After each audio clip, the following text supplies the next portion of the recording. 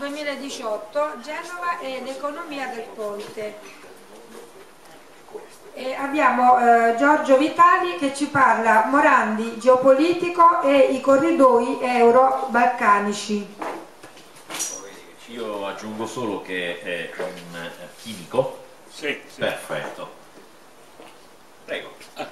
Vabbè, tanto io ho poche cose da dire perché eh, quello che mi interessa al momento è sollecitare l'attenzione su alcuni punti essenziali. E non devo fare una trattazione come quella che ha fatto l'amico Orazio anche perché quella, quello che ha detto Orazio riguarda una denuncia che lui ha preparato ma che io ho controfirmato e che abbiamo presentato alla Procura della Repubblica di alcune città italiane. Ne aspettiamo, ne aspettiamo anche l'esito perché eh, questa denuncia è stata ripresa da alcune riviste, da alcuni giornali, per cui insomma ha girato un po' anche perché è molto importante quello che è stato detto in quella denuncia. Il punto eh, che volevo sottolineare io riguarda l'aspetto della società nella quale il cittadino si viene a trovare. Tra l'altro, proprio sabato o domenica 30 di novembre ci sarà un importantissimo convegno all'Accademia dei Lincei con inizio alle 10 e mezzo e che riguarda praticamente la riproposizione e dal punto di vista giuridico del concetto di bene comune. Io ritengo che questa strada sia una strada praticabile per cercare di risalire una china che è quella che è stata ampiamente descritta da molti oratori che mi hanno anticipato. La società italiana di oggi, come la società in tutto il mondo, diciamo pure, è una società completamente in mano al caos organizzato. Il fatto che ci siano dei magistrati che non fanno il loro mestiere non è dovuto al fatto che questi sono dei delinquenti, è dovuto al fatto che sono stati selezionati in quanto delinquenti, che è completamente diverso. La stessa situazione riguarda, ad esempio, il Comune di Roma. Il Comune di Roma è gestito da quella che viene chiamata mafia capitale, ma non è una novità. Eh, lo sai, eh? eh allora, la mafia è entrata a Roma ufficialmente il 4 giugno 1944. Si è insediata, e tu lo sai bene, tu lo sai, lo sai. Si è insediata a Roma e gestisce ancora l'amministrazione comunale di Roma. Perché non si spiegherebbe per quale ragione, ad esempio, eh, eh, gli automezzi dell'ATAC non funzionano hanno fatto persino hanno tentato persino i radicali, attenzione. Parla del biglietto. Eh, no, è, una, è, una, denuncia che, io, che, noi abbiamo presentato, quello è un altro discorso. Giorgio, parla dei corridoi. Dopo, perché ci devo solo arrivare ai ah. corridoi, perché eh, il video che abbiamo fatto sui corridoi sta navigando sui 26.000 contatti e quindi praticamente... Eh, va bene così, però devo arrivare alla conclusione in cui dico quanto sia importante prendere in, considera in considerazione i corridoi, che è una cosa abbastanza diversa. Ritorniamo al discorso di mafia capitale. Perché i radicali hanno fatto hanno tentato di fare un referendum per la stessa ragione per cui è stata fatta un'operazione su Alitalia che è durata per circa 30 anni. Mia sorella, che veniva regolarmente dal Giappone e prendeva gli aerei dell'Italia, mi raccontava come di anno in anno la situazione stesse peggiorando. Prima l'Italia era veramente al top anche per quanto riguardava la cucina, poi hanno incominciato a interferire sulla cucina, si mangiava sempre peggio, eccetera. poi gli aerei non funzionavano, poi c'erano gli scioperi, poi c'erano i ritardi, tutto questo perché si voleva semplicemente privatizzare, ma privatizzare a costi irrisori. La stessa cosa riguarda l'ATAC. Perché non funzionano i mezzi dell'ATAC? I mezzi dell'ATAC non funzionano perché loro signori devono svendere l'ATAC ai soliti privati, i quali una volta che l'hanno presa, oh, ogni due minuti passerà l'automezzo, ogni due minuti, adesso passa ogni due ore, dopo ogni due minuti? Ogni, ogni due giorni. Poi dopo, ogni due giorni dopo, la stessa cosa, la stessa cosa riguarda la monnezza. Voi sapete che la monnezza è una ricchezza enorme. La gestione della monnezza viene fatta sistematicamente da mafia capitale è mafia che gestisce queste cose, gli altri ubbidiscono, perché chi comanda è mafia e non c'è bisogno di andare a cercare quattro teste di cazzo di, di Casamonica o che sia per scoprire che cos'è la mafia, giusto? E ricordiamocelo bene.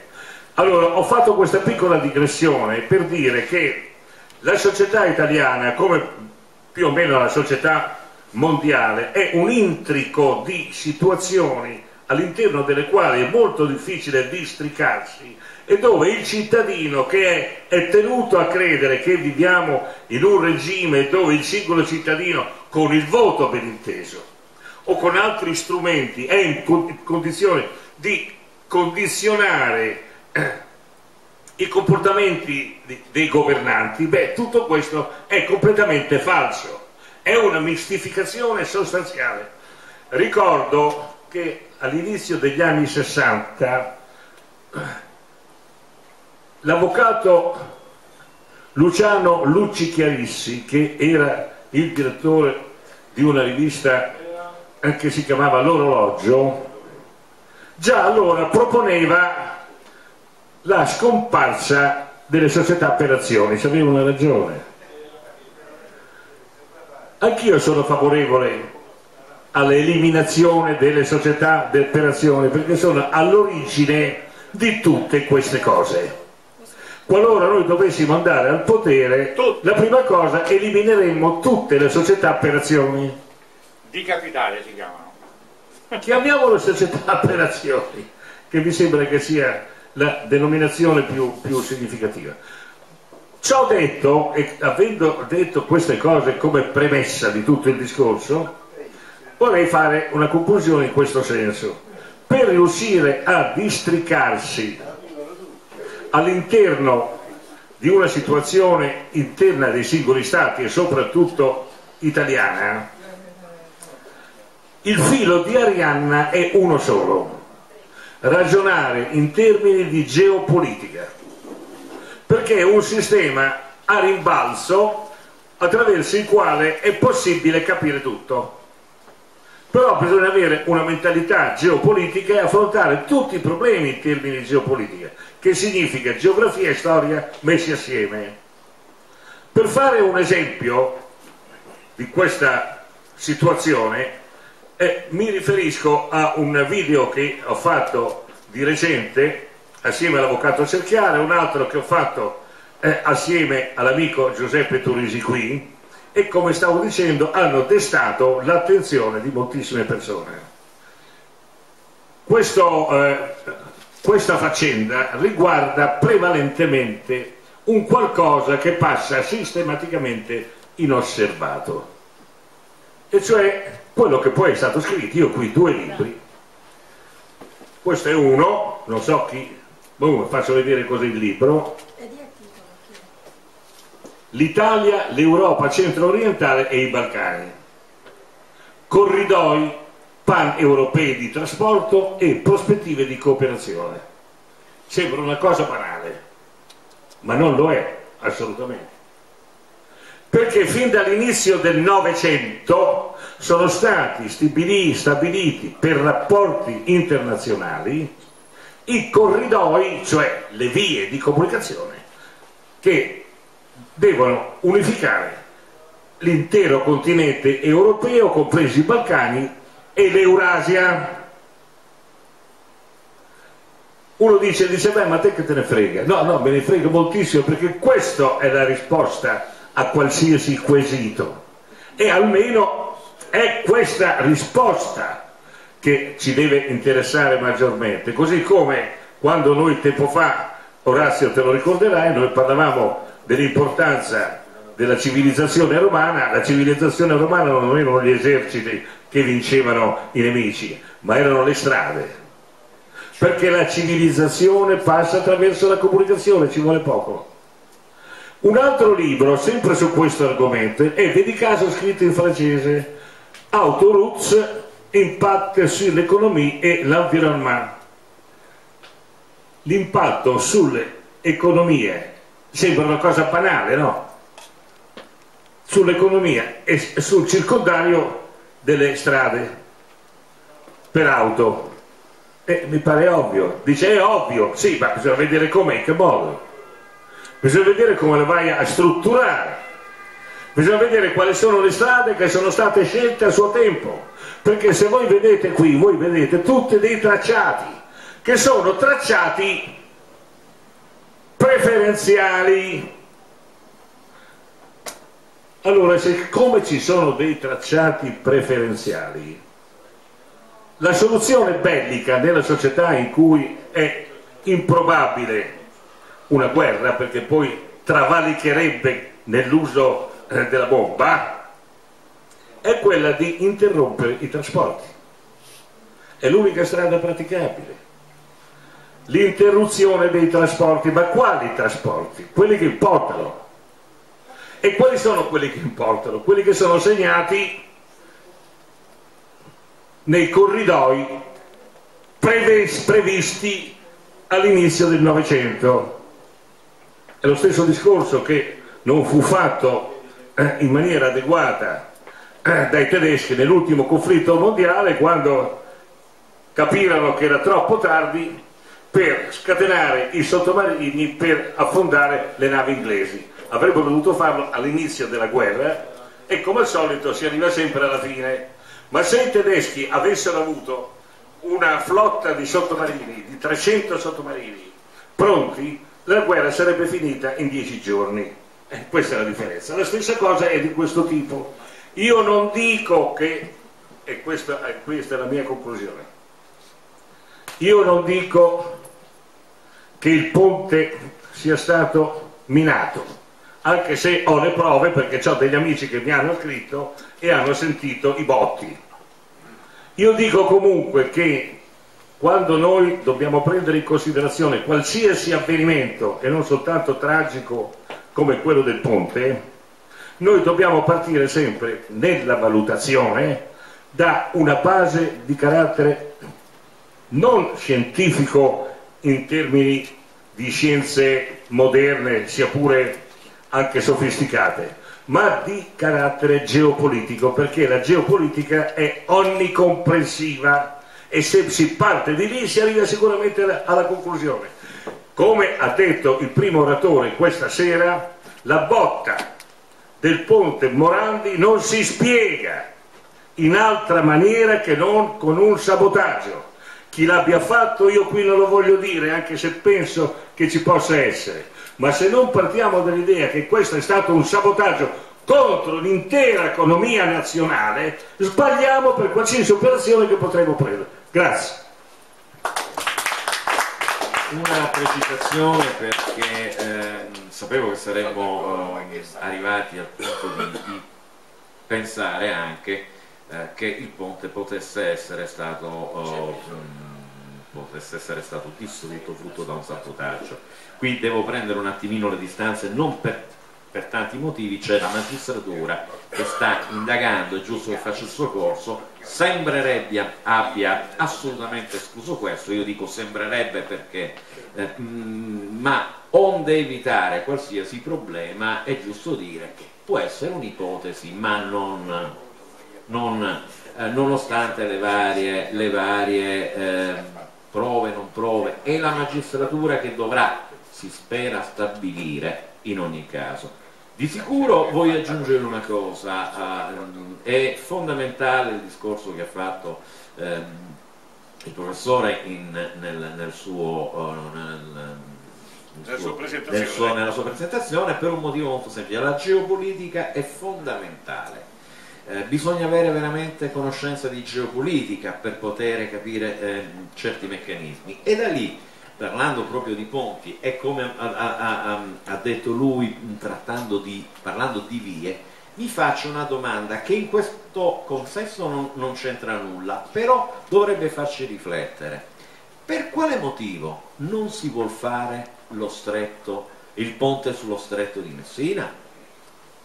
Ehm, lasciamo perdere quello che i giornali ci dicono, ci vogliono inculcare, è conveniente, il terremoto, questo e quant'altro. Del resto abbiamo visto, la Cina ha fatto il ponte più lungo, credo che sia qualcosa come 50 km, l'ha realizzato in, in, in 8 anni, se non ricordo male vado.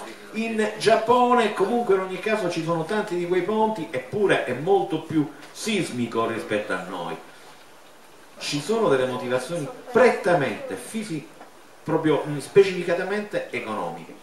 Valutiamole. Per impedire che il pesce fresco di Palermo arrivi ai mercati di Monaco e di Baviera in 6-7 ore per impedire oggi Collerio non credo il pesce viaggia anche, anche, anche, anche, non è questo il punto credo che invece come Genova e qui lascio aperto al dibattito poi che magari chi si ferma a cena potremo tranquillamente affrontare ehm, quale motivazione può esserci per cui sia stretto, il ponte sullo stretto ma anche il ponte di Genova possa ehm, interessare a qualcuno che non venga, da un lato non è realizzato, dall'altro lato venga distrutto. Um, Vorrei fare un'ultima precisazione perché è importante quello che lui ha detto, però come al solito noi non dobbiamo più delegare a qualcuno. Se uno mi dice la magistratura indaga, io rispondo subito che dell'indagine della magistratura non mi fido a priori, eh,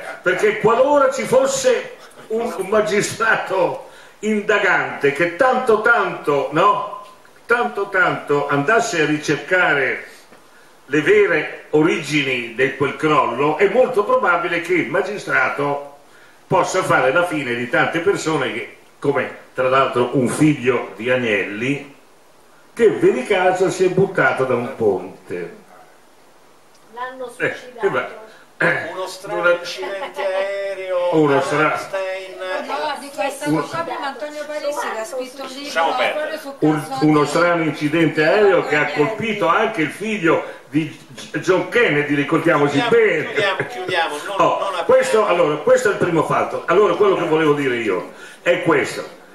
Non è tanto la soluzione del problema quanto avere la capacità di districarsi utilizzando gli strumenti, noi qui eh, giustamente l'amico Piero ha fatto riferimento alle scienze, è uno dei principi fondamentali della scienza è cercare di districarsi attraverso gli strumenti che man mano eh, si riescono ad acquisire per riuscire a comprendere ciò che abbiamo davanti. Quindi lo stesso discorso riguarda questo, non si può parlare di situazioni contingenti senza conoscere la geopolitica, non si può escludere la geopolitica da alcuna, da alcuna eh, analisi che si possa fare su argomenti che riguardano l'Italia e soprattutto l'Italia nei suoi rapporti, attenzione, che cosa sarebbe l'Italia con un ponte sullo stretto? Eh, dice, ma va, che cosa serve?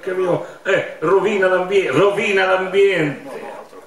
Rovina l'ambiente. Allora. No, ricordiamoci che il Consiglio di amministrazione del ponte sullo stretto c'è ancora ed è in vigore e costa 500 milioni all'anno. Sì, sì c'è stato di mezzo pure... Devo chiudere, devo chiudere sì. perché questo è il tema magari di un altro... Sì, ci sta di mezzo pure il mio consuocero che è morto da qualche anno. Allora, eh, eh, lo, il ponte sullo stretto, e questo lo dobbiamo dire, eh, verrebbe a creare per l'Italia un ruolo indiscusso di leader di tutti i paesi rivieraschi del Mediterraneo. È quello che non si vuole ed è quello che non si vuole. Ecco cosa significa parlare da di indipendenza da siciliano lo dico noi il ponte perché sono siciliano noi il ponte lo vogliamo però mi fanno dire, fanno dire ai siciliani che non vogliono il ponte, nulla di più fatto. Ma è naturale, è ovvio. Va bene, grazie dell'ascolto. Grazie. Eh, Valdo, questa qua dalle due e mezze Valdo. Eh, po- po- po-